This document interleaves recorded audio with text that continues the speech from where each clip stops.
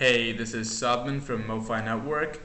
Today I'll be showing you on how to do band lock on MoFi 4500 routers. Before we do that, let me tell you why we do band lock.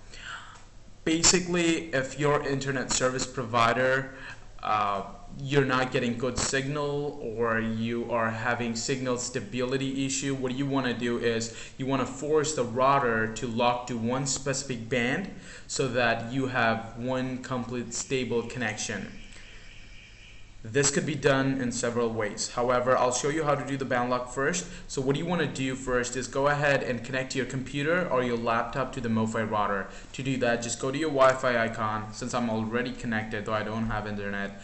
But uh, just go ahead and connect to it. All right. So I connected my one, and the next bit you want to do is open up your browser. Make sure it's not Google Chrome or Microsoft Edge.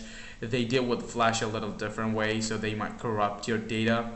Uh, use any other browser you want. For this instance, I'll use Firefox. Just go in your address bar and type in your default IP address for the MoFi network.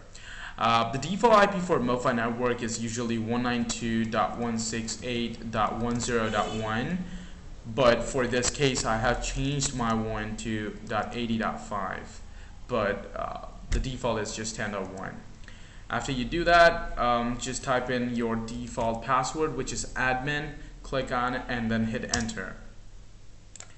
Okay now once we're in the next bit you want to do is you want to click on MoFi internal modem. Just in case you don't see MoFi internal modem click on network and then this section will expand and then you can see MoFi internal modem.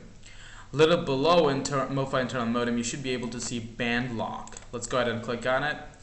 And for you the current band might show as band 2 band 4 band 12 13 doesn't really matter. It depends on your internet service provider.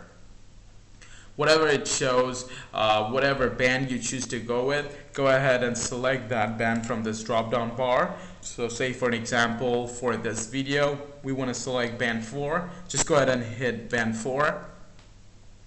What you want to do next is click the button next. After you do that, this step is pretty straightforward. Just click finish. Now, after we click on finish, the router will go through a power cycle. Once the router is up, the router will be locked to band 4. So let's go ahead and click finish. Now this will take about a minute and a half for the router to come back up, so just let's sit back and relax.